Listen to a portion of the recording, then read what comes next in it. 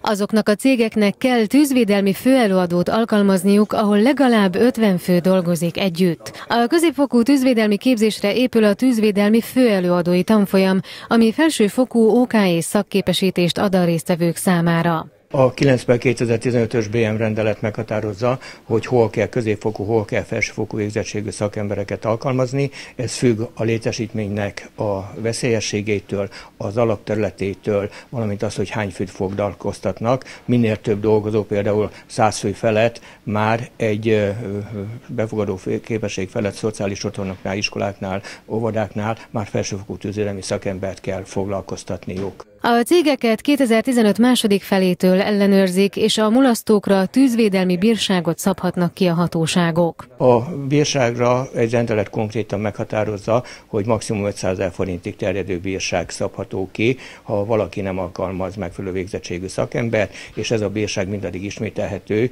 amíg eleget nem tesz a kötelezettségének. Az új országos tűzvédelmi szabályzat idén márciusban lépett hatályba, és néhány nappal később a képzésekkel kapcsolatos elő előírásokat is megfogalmazták. Jellemzően minden vállalkozás és intézmény számára szigorodtak a tűzvédelmi előírások. A tűzvédelmi főelőadó képzésen veszek most jelenleg részt. A jogszabályi hátterek változása miatt szükséges az, hogy felsőfokú képzettsége legyen a cégnek fő tűzvédelemből. Jelenleg munkavédelemben dolgozom, és kiegészítésképpen jöttem erre a képzésre.